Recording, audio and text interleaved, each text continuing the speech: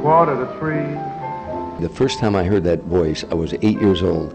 I was shining shoes in a bar on the south side of Chicago. In the end, I was a pallbearer at his funeral. He was like a father to me.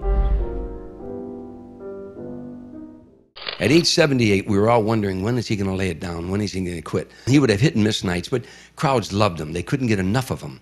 And uh, they came, they were really coming to say goodbye to him. And every city we went to, they were coming to say goodbye. And one night in, um, in the Mark Auditorium, there's like 20,000 people in the arena, and I did my show, and it was good audience and everything. He, he went out, he did three songs, he was rolling. He got to the fourth song, and he totally blanked on the lyrics.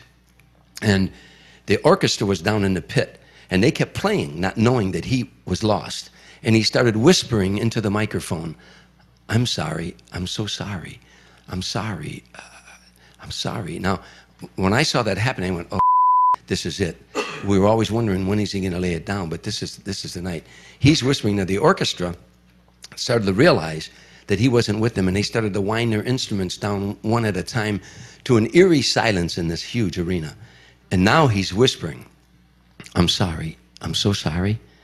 I'm sorry. By that time, I was stage left, and I thought, okay, this is it. you know, he's going to come off stage, and I'm going to say, let's go home, Mr. S. It's been a great career, but it's time to go home. And he turned around, and there was dead silence, and he had tears in his eyes. And he looked like he was going to come and lay the microphone down.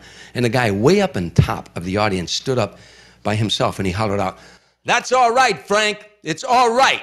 We love you, Frank. It's all right because we love you. And he started to applaud. And the guy next to him started applauding. A couple, and pretty soon. I'm getting chills. People, I'm getting well, chills. Keep going. Hundreds of people started applauding, then thousands, and pretty soon the whole arena was cheering, cheering, and cheering. He got to the edge of the stage, and I thought he was going to go home. And he turned around and he went back to center stage, and they wouldn't stop cheering. And finally, they calmed down and he went into the next number, which was Mack the Knife. And he absolutely drilled that song. He hit every nuance and every lyric. He was like he was 19 years old again. Now, when he finished that song, the people wouldn't stop cheering.